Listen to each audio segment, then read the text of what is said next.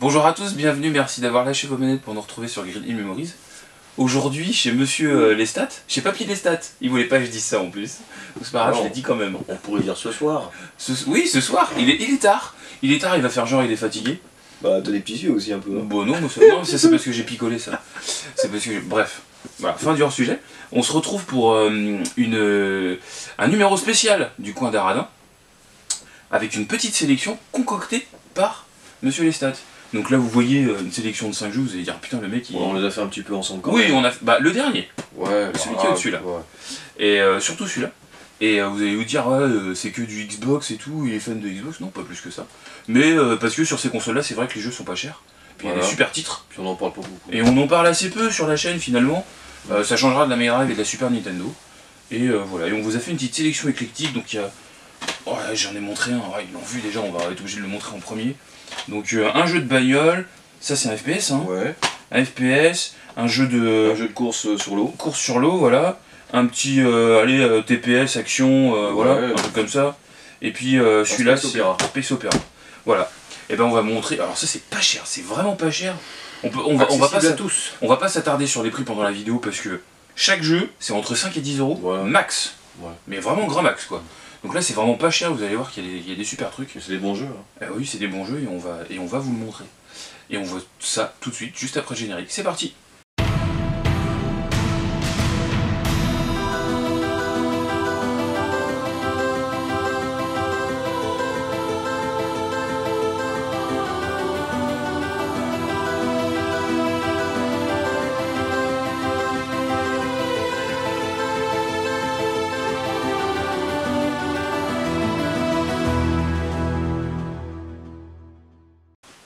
Commençons avec bah, celui que vous avez dû voir euh, dans l'intro puisque je l'ai un petit peu, j'ai fait un petit peu comme ça, tu vois.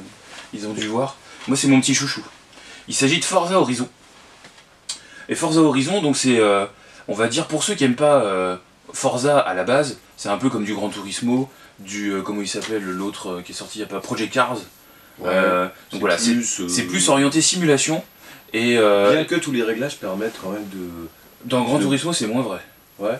Dans Gran Turismo, enfin, c'est typiquement le genre de jeu que je peux pas blairer, parce que, euh, enfin, je peux pas blairer. Je, je reconnais bien volontiers les qualités euh, absolument immenses de ces jeux-là au niveau réalisme et compagnie, mais alors le jeu où euh, tu prends la première ligne droite d'une course, t'appuies comme un connard sur l'accélérateur, t'arrives dans le premier virage, Et tu pars en vrille. tu piles, tu finis dans le décor, et ben ça, moi c'est hop, power, et on, on l'enlève de la console et c'est fini quoi.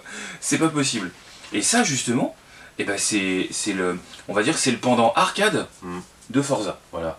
Et euh, ben, c'est super. Voilà, je- et- et- parce que après tu vas dire qu'encore c'est moi qui Non, monopolise non, le mais temps de parole, le- mais vas-y, à le- toi. au moins, euh, de temps en temps, on a une nouvelle euh, saga Mm. qui débute. Et celui-là, c'est le premier d'une saga qui a, qui a démarré sur les chapeaux de roue. Ouais ouais. Parce que ce jeu-là, on a été mais accroché tout de suite. Et c'est un des rares jeux, pour moi en tout cas, qu'on a pu aller jusqu'au bout. Ouais j'ai. Avec un nouveau concept. Mm. Voilà.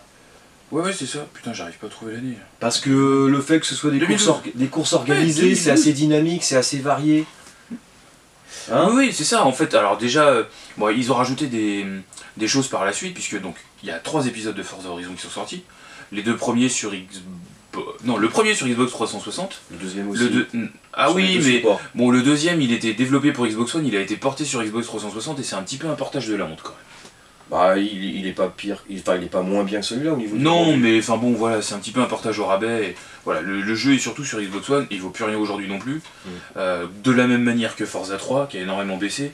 Et euh, Forza 3, je l'ai un peu moins creusé parce que là, tu te rends compte que c'est hyper long, c'est assez répétitif. Enfin, bon, partie de- des jeux d'aujourd'hui, hein. tout, est- tout est devenu euh, très long. Et donc, euh, donc les courses sont très arcades, ça veut dire qu'il y a, euh, y a plein de styles de courses. J'espère ne pas dire de bêtises parce que ça fait un petit moment que j'ai pas joué. Mais il y a des éliminators, il y a des trucs comme ça, il y a plein de types de courses différentes. Ou même des courses contre un hélico, le premier Ah qui oui, va arriver, voilà, une d'arrivée, un train. Oui, oui, ouais, ça c'est les, c'est pour passer les différents niveaux du festival, ça. Ouais. Parce que t'as l'histoire de bracelets.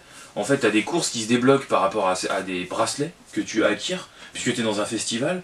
Donc il y a une gonzesse qui vient, qui te parle. Et une petite- il me semble qu'il y a une petite euh, séquence d'intro au début avec Ouais, il y a un petit mode story, mais Ah qui ouais. prend pas trop d'importance. Non, non. Parce qu'il y a des jeux Ou, ou le mode story euh, Bah, il y avait ça dans Need for Speed. Dans Need for Speed, c'était un peu même l'autre là, euh, sais plus comment il s'appelle, de- d'une autre, une autre boîte. Ah bah mais alors tu me donnes pas beaucoup d'indices pour le trouver. hein. Bref, euh, et donc euh, euh, on, on récupère des bracelets au fur et à mesure qu'on avance dans le festival et qui débloquent des nouvelles courses.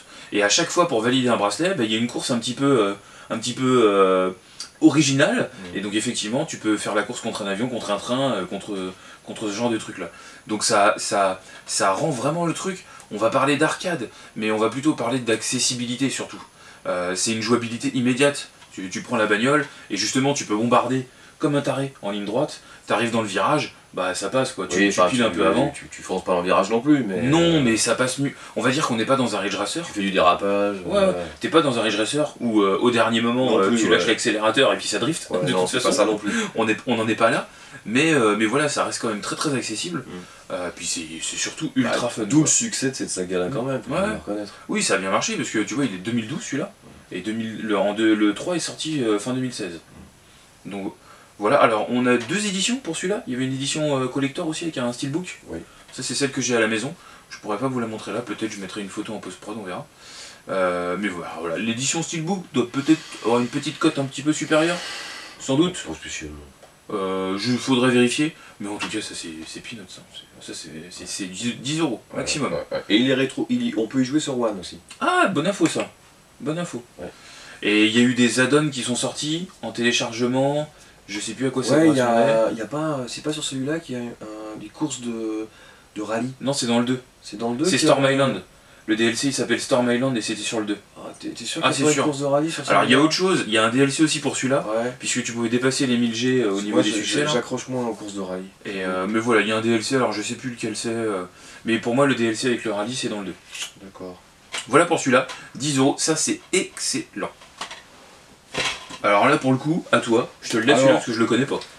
Enemy Front. Alors, on, on- on a bien connu les Call of Duty qui se passaient pendant la Seconde Guerre mondiale. Mhm. Le tilt que j'ai eu il y a peu, c'est que j'ai appris qu'il y avait un nouveau Call of Duty World War 2 qui sortait en novembre Oui, bah c'est une, 2017. c'est une info très récente là. Et on, du est, coup, on est début mai, on peut préciser ça. ouais. L'info du prochain Call of Duty, elle vient juste de sortir là, fin Ouais. avril. Et du coup, j'ai dit ah chouette euh, parce que les Call of Duty euh, guerre moderne ou guerre futuriste, j'avoue que j'ai pas trop, euh, enfin j'y ai pas trop joué. J'ai pas trop accroché là-dessus. Ah mais je me souviens d'avoir une conversation avec toi à ce sujet-là. Tu Ouais. disais, euh, alors c'était il y a quelques années déjà, Mmh. tu disais c'est bon, les, les, comment dire, les jeux de guerre sur la deuxième guerre mondiale, putain, on en a bouffé, j'en ai plus. Pourquoi je disais ça Parce J'en qu'on ai avait eu quoi. aucun sur la première guerre Oui, mondiale. Oui, voilà. Mais, mais, mais alors du coup, ça s'est un petit peu euh, calmé sur la seconde guerre mondiale. C'est devenu des trucs un peu plus modernes. Ouais. Avec les Medal of Honor, les Voilà. Call of Duty, les, les, bah alors, le- entre les Black Ops et les Modern Warfare, C'est ça. et puis euh, la- l'autre c'est carrément la science-fiction quoi. aussi. Battlefield. Ouais. Ouais, puis il y avait aussi, euh, ah, si on peut parler d'FPS, il y en a un que j'aime beaucoup. On aurait pu le mettre dans cette sélection. Hein C'est. Euh... Oh là là Comment il s'appelle celui-là? Enemy Front. C'est Homefront l'autre. Ah oui, oui, c'est pas mal ça. Avec la. Corée. Alors, en La fait, c'est le scénar qui est super. Ouais. Et c'est, on aurait pu le mettre là-dedans. Oui, parce que c'est des petits prix. C'est 5 euros, hein. c'est 5 euros Voilà. Homefront. Et déjà, quand moi je l'ai, je l'ai acquis et que je l'ai fini, c'était 5 euros. Et je pense que maintenant, c'est pas plus. Et voilà, bon, enfin, du hors-sujet, enfin, c'est pas vraiment hors-sujet, mais on n'était pas là pour parler Alors, de ces si on se reconcentre sur l'esprit de la Seconde Guerre mondiale, je me suis dit, tiens, je me suis fait un petit flashback du coup, parce que j'ai tous les Call of Duty Mm. qui se- et les Medal of Honor qui se passent pendant la Seconde Guerre mondiale. Donc, c'est avant le 4. Voilà, donc le 1, le 2, le 3, en route Mhm. pour Paris, là, etc. Ouais. Donc j'ai un petit peu rejoué, pas au 1 et au 2 parce que je, les avais finis, mais le 3 je l'avais pas fini. Le Medal of Honor, là, tu sais, où un parachutiste, Euh, je l'ai pas fini. Airborne. Voilà.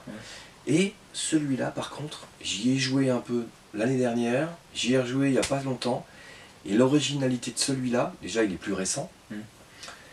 Euh, même s'il n'a pas eu un succès extraordinaire, je sais pas, 2014, non Il n'a pas eu un succès extraordinaire, mais pour autant, Putain, euh, quand on est euh, quand même fan. 2014, joli. Ouais, quand on n'est pas, enfin quand on est quand même intéressé par cette, euh, par cette période et cette guerre, bah, l'originalité de celui-là, c'est qu'il se passe au moment de grandes batailles européennes, mais qui n'a rien à voir avec euh, tout- toujours euh, cet héroïsme américain, euh, Mm. tu vois, qu'on voit tout partout, tout le temps. Ouais.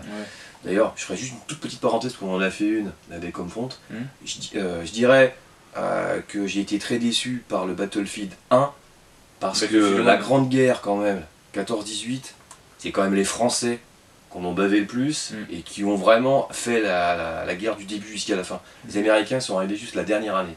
Et c'est le héros, c'est un Américain. Après, il y a un Anglais, il y a un Australien, il y a un Italien aussi. Mhm. Pas de Français de base. Donc là, c'est.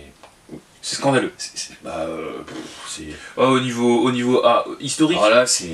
au niveau historique, tu veux dire Ouais. Ouais, c'est abusé. C'est intolérable. Moi, j'ai pas joué au jeu, je pourrais pas me prononcer.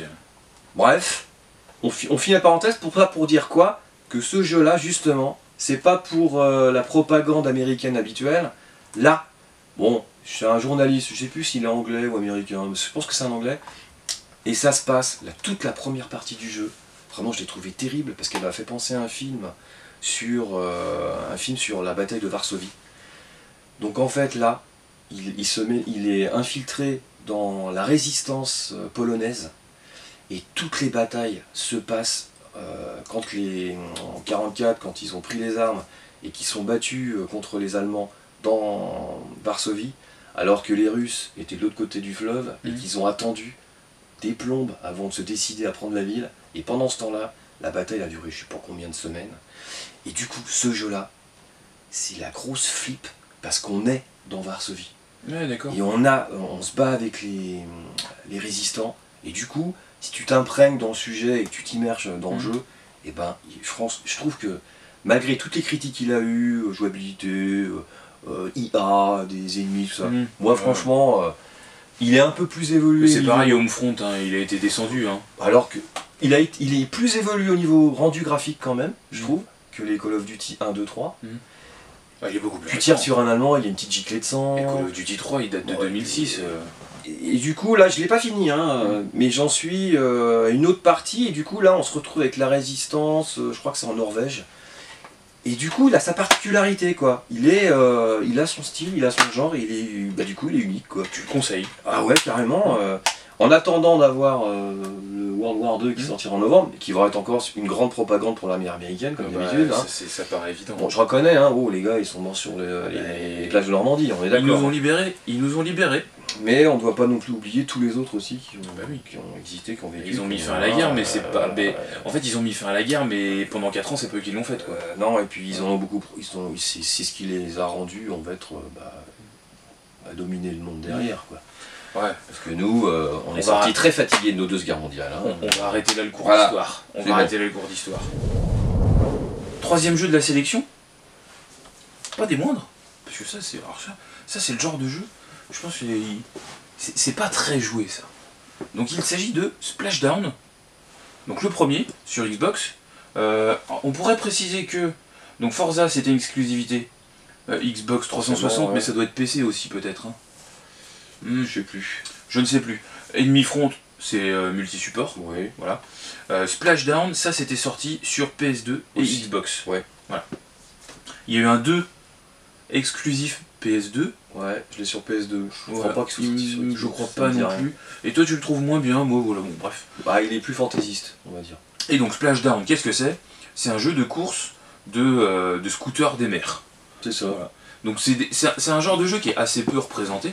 Euh, on va dire qu'on a de célèbres représentants. Le plus célèbre étant euh, Wave Race. C'est plus connu, ouais. le plus connu, euh, puisqu'il a fait les beaux jours de la GameCube, était, c'était un des jeux de lancement. Euh, et à l'époque, même si euh, toi tu lui reproches son petit côté gameplay, euh, Je préférais la version euh, 64. voilà. Mais techniquement, quand il est sorti avec la GameCube Wave Race, moi j'ai acheté la GameCube Day One et j'avais Wave Race, Mhm. bah, tu le mettais dans la console, je bon, enfin, l'eau et tout, c'était hyper. Alors maintenant non, tu le remets aujourd'hui, évidemment tu rigoles, mais à l'époque en 2002, enfin il a 15 ans quoi, il y a 15 ans. Bah moi j'avais joué à Eh ben, Race c'est sur un impressionnant. 64 quand il est sorti, Mhm. et sur un 64 à l'époque il était super aussi. Bah oui, oui, ouais, c'est clair. Mais c'est des jeux qui, vi- qui vieillissent assez mal. Et Splashdown, ça passe. Ça vieillit plutôt bien. Donc voilà, c'est de, la, c'est de la course de scooter des mers, donc il n'y a pas grand chose de plus à dire. La petite, euh, la petite var- variante, on va dire, par rapport à un jeu de course classique, c'est la, physique. C'est-à-dire qu'en fait, on rebondit sur des vagues. Ouais. Euh, c'est, pas. euh, Ouais, il y a quand même pas mal de petits trucs à faire. Celui-là, tu peux faire bah, Il y a des de- sauts, tu peux faire des tricks. tu peux euh, T'enfoncer un peu dans l'eau pour Ouais. sortir. Ouais, voilà, pour prendre un petit peu de vitesse, etc. Ouais. Donc, euh, mais c'est surtout en fait la, la, la physique de l'eau euh, qui est assez impressionnante pour un jeu euh, qui date de, je dirais, 2003-2004. Bah, J'y ai rejoué il y a pas longtemps parce que 2002. j'ai fait une petite nostalgie parce qu'on n'a pas beaucoup de jeux de ce genre-là qui sortent. Ouais. Oui, oui, il y en a peu. Il y en a assez. Alors, en ce moment, il y en a. en boîte, c'est mort. Il y en a pas. Voilà. En démat, on en trouve, Ouais. puisque il y en a un qui est sorti, que j'ai joué, j'ai pris sur Steam. J'ai joué sur PC et je sais qu'il est sorti sur le live de la PS3. Bah alors le titre, Ouais, on se souvient plus. on sait plus, c'est Aqua, machin. Ouais, euh, quoi quelque chose. Alors il, il est, il est, je l'ai fait voir, je te l'ai fait voir. Graphiquement, il est pas, Ah, il est pas extraordinaire. Les personnages sont pas super bien Il modélisés. est pas extraordinaire, c'est un bel euphémisme. Ouais. Mais j'y ai, ai, ai pas mal joué parce que c'est quand même un mélange justement de Wave Race et de Splashdown. Mm. Il y a, il y a pas mal d'environnements, pas mal de courses. On va dire, il, il- il est sympa quand même. Ouais, il est sympa, il est mais sympa. Mais enfin, alors de ce que j'en ai vu, j'ai vraiment été euh, assez effrayé par le côté technique. Parce que sortir un jeu comme ça, même si c'est en démat, même si c'est pas cher, c'est aller. euh, Bah, il est entre quand même à cinq- 19 euros. Ah ouais, non, mais oui, c'est vrai. Oh. Ah oui, c'est vrai. Faut profiter d'une promo. Non, c'est abusé. Pour 20 balles, c'est du vol. Promo. Enfin, c'est clair. Enfin, pour moi, c'est honteux de vendre ça 20 balles en démat. Quand on voit la technique, euh, en post-prod, je vous mettrai une petite vidéo de ce jeu-là. Vous voyez la technique et 20 balles, c'est c'est scandaleux.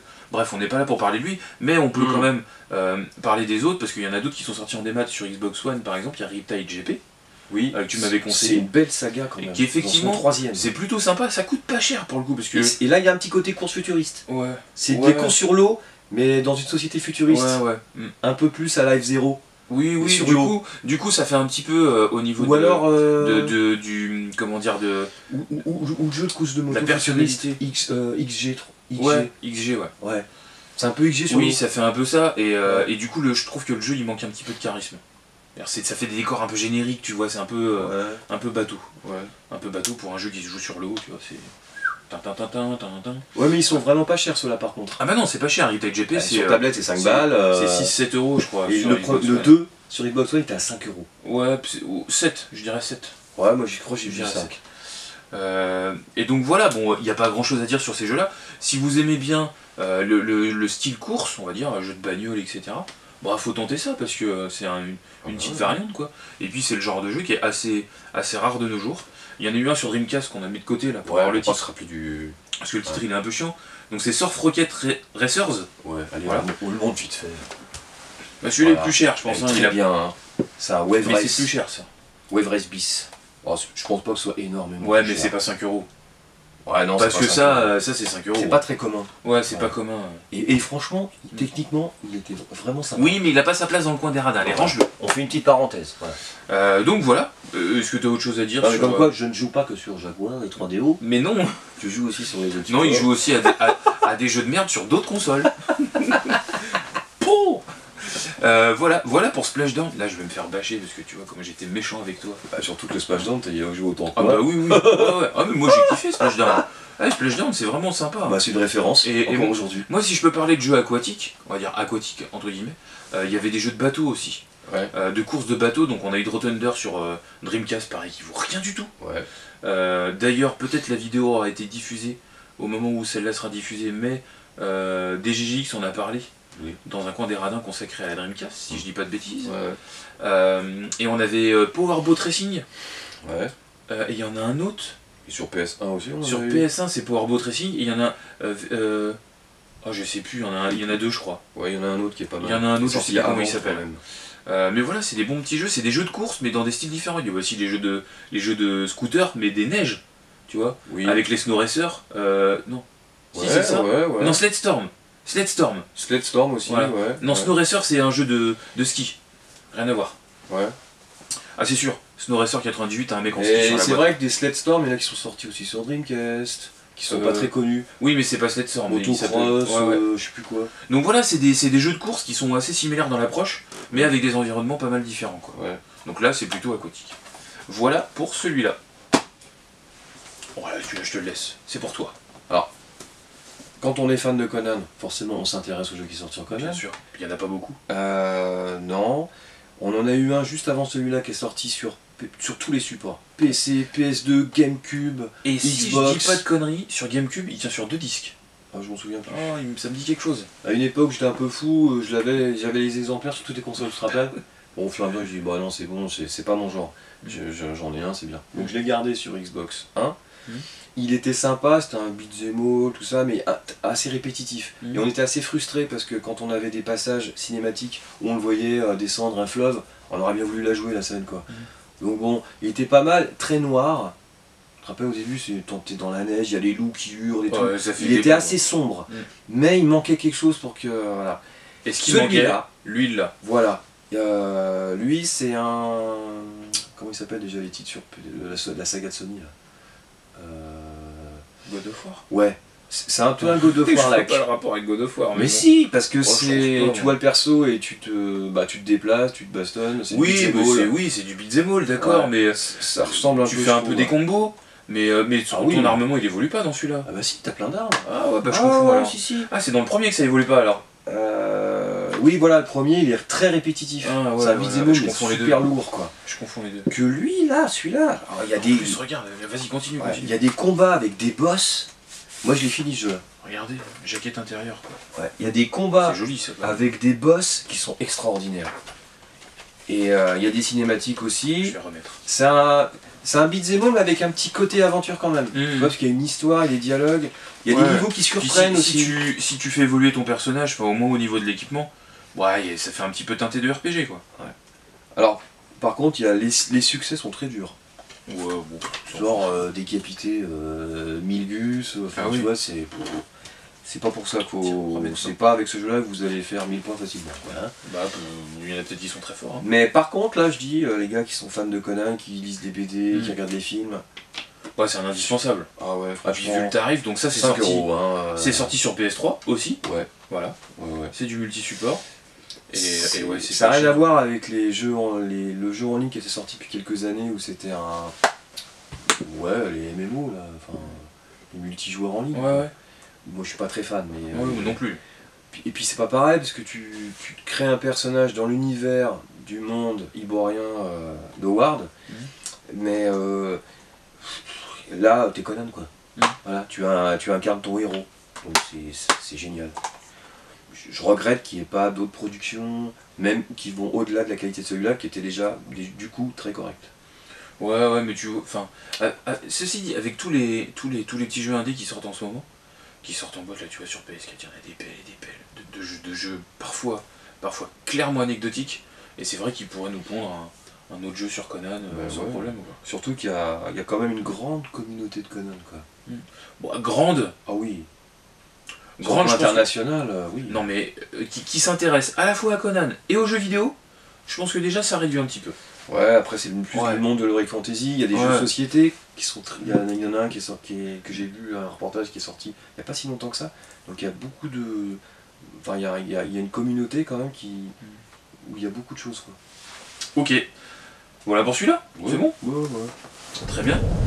Dernier de la sélection, et pas des moindres, Le petit dernier. pour toi. Alors, quand on est fan de Donc là on Space- voit pas très bien, mais il s'agit de Battlestar Galactica. Voilà, donc quand on est fan de Space Opera, historiquement on a eu euh, la grande saga des Wing Commander, qui a vieilli quand même. Faut le reconnaître, Ouais, aujourd'hui oui, tu joues à un Wing Commander, euh, Ouais, ça pique. Pour autant, à l'époque, on y a beaucoup, beaucoup joué. Ouais, ouais, mais c'est des jeux contre ma vie. Donc, Ouais, Les. Space Opera, on en a quand même eu un certain nombre. Il y a des grands titres, sur, plus sur PC. On peut rappeler ce que c'est un Space Opera peut-être? Alors, Space Opera, ça a plusieurs connotations, mais Mm. dans cette connotation-là, c'est on fait partie d'une flotte, C'est un shoot spatial, on va dire. ouais, avec les missions classiques attaque, défense, escorte, Mm. tu vois? Euh, après, il y a quelques variantes quand même. euh, euh, où tu peux avoir des missions un peu plus d'espionnage ou de, de pose d'une. Enfin, ça varie quand même pas mal. Mais on va dire la base, c'est escorte, attaque, défense. euh, tu protèges ton destroyer parce que vous êtes attaqué, donc des trucs basiques. Tu vois ton vaisseau de dos, t'as Euh, potentiellement une vue cockpit. Ouais, souvent Ouais. Une, une vue à la troisième personne, Mhm. vaisseau, ou interne, Mhm. cockpit. Oui, c'est ça. Et, et, par, et quand c'est plus élaboré, t'as plusieurs vues différentes. Donc, euh, même plein écran, mais moi j'aime moins. Le plus immersif, on connaît la saga des Colony War sur PS1, Ouais. qui était de très bonne qualité aussi. Star Il y a eu Axiom. trois. Ouais, il y a eu Star Axiom, Blast Voilà. Donc c'est- quand même représenté sur console, mais moins que sur PC. Mais moi j'aimais bien euh, les Colony Wars parce que c'était moins, moins scénarisé justement. Euh, on va dire que les missions étaient moins. euh, je trouvais ça plus arcade en fait. ouais, ouais, non, parce Wars. que c'était plus adapté à la console. Ouais, c'était plus accessible pour quelqu'un qui est pas forcément fan de Space Opera. Moi je trouve que le, le Space Opera en général c'est un peu lourd. Alors, euh, au niveau de la maniabilité, tout ça. Donc Colony Wars ça se prenait assez facilement en main. Oui, Et puis euh, Oui. voilà, c'était, c'était, ça, faisait- Ouais, ça se ouais. rapprochait un peu plus du shoot 'em up. Ouais, c'est vrai que sur PC, souvent, c'est plus compliqué, c'est plus élaboré. T'as beaucoup plus de d'interaction avec Mm. un tas de, de Oui, bah, c'est la- de bord, La euh, prise en main qui était beaucoup plus complexe. Ouais. Mais même aujourd'hui, il y a des jeux qui sont très intéressants, mais ils intègrent beaucoup trop de gestion, beaucoup trop de. Ouais, puis ça devient de- de barbant quoi. C'est- pas, pour moi, c'est pas des jeux de space opéra, c'est plus. Oui, c'est toujours des space opéra, mais plus orienté gestion, enfin, développement commercial. enfin, tu choisis un peu ton rôle, t'es pirate, euh, tout ce qu'on veut, mais bon, on va dire, si on reste centré sur de l'action, il faut du space opéra orienté action. Mm. Donc celui-là, il en fait partie. Donc, si on est fan de la dernière série de Galactica, Alors Battlestar Galactica, c'est quand même 2003, 2006, 2007, je crois, euh, 2007, ouais, il y a 2007, ouais, 4 saisons. C'est, c'est une série qui a vraiment, qui est vraiment magique. ouais, renouvelé le genre, parce que notre série de Galactica de fin des 70-80, Comment avec les trois films cinéma, c'était super, moi j'ai vu ça quand j'étais gosse, tout ça. Mais c'était un peu plus basique, euh, les méchants, les gentils, les robots. euh, Mm. Mais c'était déjà sympa. Mais là, dans la série de 2003, ils ont la dimension, elle est complètement différente. ouais Il mais y a une approche psychologique, une réflexion sur la vie, la mort, Mm. Dieu. Enfin, c'est. Ouais, alors il y a des trucs qui vont un petit peu trop loin avec le truc un peu catou. Ça ouais. porte à la réflexion quand même. Ouais, c'est c'est intéressant. ouais. Mais c'est vraiment une super série, si on peut s'arrêter deux secondes dessus. Ouais. C'est vraiment une super série euh, qui, qui s'écoute, enfin qui dure sur quatre saisons, donc c'est pas très long. Euh, Et il y a vraiment, enfin pour qui aime la SF, parce que pour moi c'est de la SF, hein, on est d'accord. oui, oui, oui. Pour qui aime la SF, c'est vraiment mortel. Ah, ouais. Donc euh, avec le, au niveau du son, les batailles dans l'espace, elles sont très, elles sont très sourdes, tu vois. Ils respectent le fait que le son se balade pas dans l'espace. T'as pas des grosses explosions de malades avec des gros bruits, tu vois. C'est- C'est très réaliste de ce côté-là. Il y, a un- il y a un putain de scénario avec des espèces de retournements de situation, des, des twists, comme on appelle dans, le- dans les séries. Et c'est vraiment magique. Enfin, je pense au fameux épisode où, euh, tu, découvres 4 silons. Là, parce que très rapidement, euh, le principe de Battlestar, c'est que voilà, euh, l'humain a créé un être qui lui ressemble de plus en plus, le Mhm. Silon. Euh, les Silons sont rebellés, voilà, pour faire un, ra- un rapide, euh, très rapide raccourci. Les Silons sont rebellés contre les humains, une guerre a éclaté, les Silons ont tout pété, euh, ils ont éclaté les 12 colonies, puisqu'il y a 12 colonies, autant que de signes du zodiaque. hein. Ouais. C'est pour ça qu'on a Caprica, on a euh, Taurus, euh, voilà, c'est les noms des planètes. une multitude de dieux comme Voilà. des Grecs. ils ont, euh, ils ont plusieurs dieux, c'est ça. Et donc les Silons euh, les, dé- les détruisent tous, et on se retrouve sur un, un navire spatial, Mhm. Le Battlestar Galactica, euh, sur lequel en fait bah, il- on a quelques survivants qui, qui étaient justement en train d'arrêter le vaisseau au début de la série. Et ils devaient prendre sa retraite le vaisseau, et puis en fait bah voilà, ça pète à ce moment-là, et le vaisseau se retrouve avec bah, les, quelques, les quelques milliers de personnes qui y a dessus à, à Une survivre. flotte de navires euh, civils. Ouais. Et, euh, et, et on se rend compte que, on apprend au fur et à mesure que il y a des Silons qui se sont rapprochés des humains, qui sont devenus à l'image des humains Mm. et qui sont infiltrés là-dedans. Et il faut découvrir desquels il s'agit, puisqu'en fait, euh, ils sont vraiment à l'image humain. quoi. Il y en a qui se baladent dès le début, dès le premier épisode. En fait, il y a des Silons qui sont déjà là, mais au moment où tu le vois, tu le sais pas. Puis quand tu finis par savoir de qui il s'agit, ben, c'est juste magique. Quoi. Et il y a un épisode où on en apprend 4. T'en apprends 4 d'un coup, parce qu'il y a 12 Silons autour. Ouais. Puis il y a une Et réflexion sur la réincarnation. C'est énorme, oui, parce que les Silons, quand ils meurent, ils reviennent. Voilà, ils peuvent se re- se réincarnent dans ils un autre corps, parce qu'ils se clonent. Donc en euh, fait, ça, part sur des débats philosophiques, sur l'existence, sur plein de trucs. Et du coup, ça a donné une autre C'est vraiment, dimension. c'est vraiment une super série. euh, Ouais. euh, Alors du coup, on a quelques jeux vidéo qui ont, qui, qui ont, su- enfin, qui ont émergé de cette série. mhm. On en a eu en démat. Ah, peut-être, ouais. Ouais, on en a eu en Ah, démat sur, euh, sur 360. On en a eu un autre sur One. Non, je sais plus si c'est... Non, c'est que sur 360 peut-être, je sais plus. Ouais, c'est je- une bêtise. Ça, je sais pas. Il y en a eu un, un jeu en ligne aussi, qui était gratuit d'accès. Mhm. Euh, mais là, c'est pareil, là, c'est du multijoueur en ligne, donc on est dans l'univers global de, de cette série, où tu choisissais, bon bah tu avais un Viper, tu partais. euh, Donc le Viper, c'est le vaisseau, le petit vaisseau, un petit peu comme dans, comme dans Gradius, quoi. Donc là, tu es dans un, un à univers immense, tu un peu livré à toi-même dans ce jeu-là au départ, parce que tu dois euh, trouver des ressources, des machins pour, pour la flotte et tout. Donc bon, j'a- j'accroche pas trop à Mm. les jeux qui- en ligne comme ça. Enfin bon, c'est. Après, faut, faut avoir le temps de s'immerger, de tout Mm. comprendre, et puis ça prend des heures. Mm. Donc faut avoir le temps aussi hein, pour connaître. Ouais, c'est clair. Bref, on a quand même eu, du coup, j'étais un petit peu déçu par le jeu en ligne sur euh, 360 parce qu'on on voit le Viper de dessus un peu, toi, ça fait un peu euh, shoot euh, euh, verticaux, tu sais, où tu bouges un peu dans tous les sens. Mhm. Puis c'est pas évident à prendre en main. Mhm. Mais il, il était sympa, mais bon, j'ai pas joué plus que ça. Alors, par contre, celui-là, si on se recentre sur le jeu, le dernier jeu qu'on présente. Tu retrouves trop les Celui-là. personnages de la série Oh, là-dedans? Celui-là, il se passe lors de la première guerre contre les Sinois. Ah oui, c'est donc t'as pas les personnages de la série. Si, il y a le, command- le commandant, Ah, Adama, il y a- il y a Adama. jeune. Ah ouais, d'accord, super. Donc c'est quand il est jeune et qu'il est pilote de Viper. Et du coup, ça se passe pendant la première guerre des Sinons, contre les Sinons. Et du coup, ce qui est rigolo, c'est que la première guerre des Sinons, qui débute à la fin de la, sais- de la- de la saison Caprica, Hmm. quand ils sont Oui, qu'il y a une série, en fait, il y a Il y a une autre série qui est sortie après Qui Battlestar, qui est avant. Caprica et qui se passe avant. Voilà. Qui est une espèce de préquel euh, qui a pas trop trop marché, il y a eu qu'une saison. Voilà, faut être vraiment fan de la de l'histoire parce que c'est vrai que c'est une série, c'est un peu long quoi. Mm, ouais. Et quand on est imprégné par l'histoire, elle, elle est- Ah oui. super. Ah bah, quelqu'un qui a vraiment apprécié Battlestar Galactica, faut qu'il regarde Caprica. Euh, donc du coup, euh, les, les chasseurs Silons, les voix des Silons, les Silons, les bruitages, les bases, Ouais, euh, les bases euh, spatiales des Silons et tout, c'est tous les, les ingrédients de la première série des années 70-80. Ah oui, il faut avoir connu celle-là, ouais, d'accord. C'est rigolo parce que euh, c'est les bases de Silons, Mhm. les vaisseaux, tous les bruitages, les tirs, euh, c'est génial quoi. Ah, pour qui a connu la série Mais ils ont recadré ça dans le cadre de la nouvelle saga. Mhm. où ça se passe 50 ans avant, première guerre contre les Silons, avec Adama qui est jeune. Donc c'est bien lui euh, dans, dans le truc et tout. 50 ans avant Ah ouais, c'est ça. Bon, elle est pas si vieux que ça, Adama. Oh, euh, si. Oh, c'est peut-être un peu moins que 50 ans quand même. Oh, je me trompe peut-être alors, ce serait 30 ou 40 ans. Enfin bref, c'est Ouais, quelques dizaines d'années avant, ouais, quelques dizaines d'années. Et du coup, euh, il y a toutes les options. C'est-à-dire, tu vue cockpit, euh, externe, et ce qui est génial, c'est qu'il est, graphiquement, il est extraordinaire. De toute beauté. De toute beauté. Euh, franchement, tu peux y jouer aujourd'hui. Ça il, passe encore. il passe sur 360. Ah ouais, il est rétro. Il est rétro-compatible sur 160. Euh, franchement, il y a même des Space Opera qui sont vendus aujourd'hui. Bon, c'est des petits Petit titres, ils niveau, sont quoi. pas aussi bien que celui-là. La jouabilité, elle est extraordinaire. Tu pilotes ton Viper. Si tu te mets à la troisième personne, tu t'en rends compte.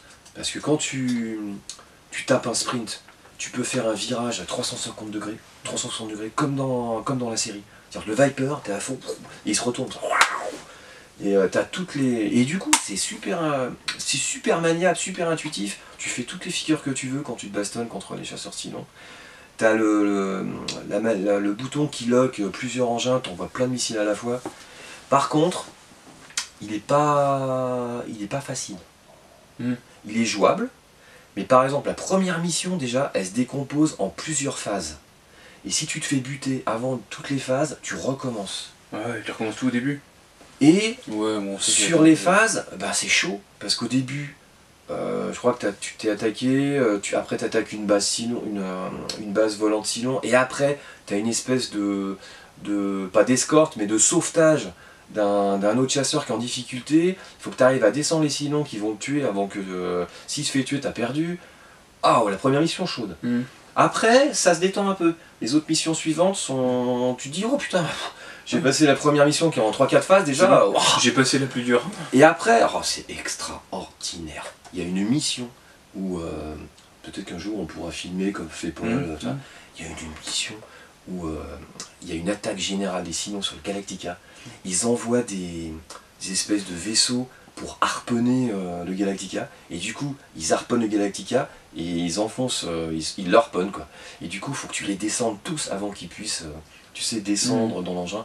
Il y a une espèce de, de brume spatiale autour. Le rendu graphique, il est extraordinaire. Et pourtant, tu parles d'un jeu Xbox, quoi. Ah bah franchement, Ouais, euh, ça passe bien. Très bien. tu mets aujourd'hui, c'est... On va pas- Alors, et, et- et au fur et à mesure que tu avances, tu gagnes euh, des cinématiques de la première saison, des previews de la, de la nouvelle, Ouais. euh, des, des vidéos, des photos, enfin il y a plein de bonus à débloquer au fur et à mesure. Là, t'essayes de le vendre, là.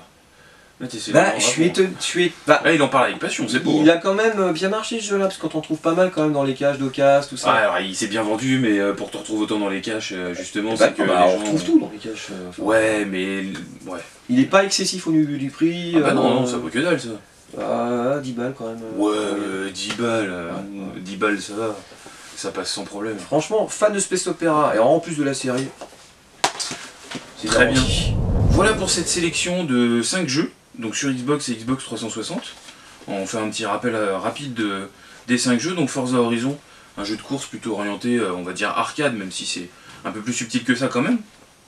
Enemy Front, Donc un FPS sur la, Seconde Guerre mondiale avec un, on va dire, un point de vue un petit peu différent de ce à quoi on a, pu avoir affaire par le passé.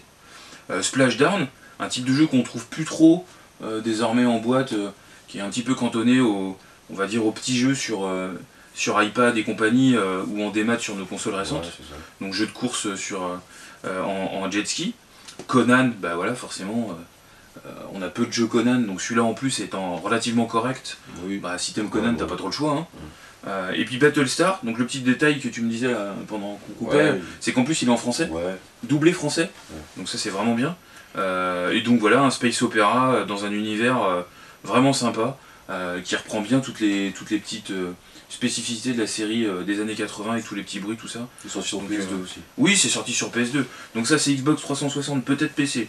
Ça c'est Xbox 360 PS3. Ça c'est Xbox PS2. Ça c'est Xbox 360 PS3. Et ça c'est Xbox PS2. Voilà. Voilà. Voilà pour ça. Et donc ça, c'est vraiment pas cher. Il y en a pour aller euh, grand max, euh, aller 40 balles pour le, pour le lot. si tu te débrouilles bien, je pense que même, sur, même, même en achetant sur internet, voilà, c'est entre 5 et 10 euros maximum par jeu. Ceci termine, on va les mettre au milieu, tiens. Ceci termine euh, cet épisode du coin des radins, euh, avec une sélection concoctée par l'ami Lestat. On en a une autre en prévision, une autre petite sélection. On verra quand est-ce qu'on vous la diffusera. On n'en dit pas plus, pour une petite teaser. Euh, n'hésitez pas à nous dire ce que vous pensez des jeux qu'on a présentés si jamais vous les connaissez. Voilà, en rajouter si vous avez d'autres jeux vraiment pas chers sur, sur P, sur, pardon, sur Xbox 360 et Xbox à conseiller, voilà. Plutôt on va dire orienté Microsoft puisque c'était un peu le cas là, euh, à présenter dans les. à évoquer dans les commentaires, on regardera tout ça avec attention. Il y a sans doute des jeux qu'on connaît pas et qui pourraient nous intéresser à pas cher. Mhm. Voilà, et puis euh, c'est à peu près tout pour cette vidéo. Euh, on vous retrouve très prochainement pour tout un tas d'autres choses. N'hésitez pas à aller voir les, les, playlists qu'on vous a concoctées, qui sont triées par rubrique. Voilà. Vous pouvez voir tous les coins des radins à la suite, il y a une playlist pour ça tout est trié par console, etc. on vous laisse découvrir tout ça. Vous abonner éventuellement, partager, euh, l'information. Le monde doit savoir, rappelez-vous que Green Hill Memories existe. Euh, et puis on vous retrouve très bientôt. Euh, vous pouvez évidemment retourner jouer à la console. Allez, ciao